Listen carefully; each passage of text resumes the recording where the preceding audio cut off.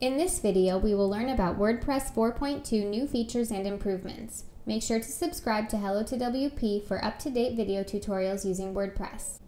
WordPress version 4.2 has some great new updates that improve usability and simply make things easier. The highlighted changes for WordPress 4.2 include the following. The Press This button has been improved for better sharing compatibility throughout the web. In addition, the Press This workflow is now mobile friendly. Previously, to use Press This, you had to add it to your bookmarks bar and then click it to share a website. Now, you can also click the Press This button from your WordPress tools page and paste a link manually. The Customizer now allows you to browse and switch installed themes to help streamline the process of setting up your site.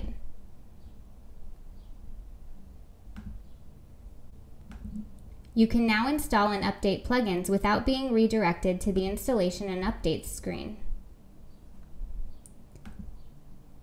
Emoji support has been added, allowing you to use a variety of animated expressions in your content. For example, the emoji support automatically converts your colon and parentheses into a smiley face.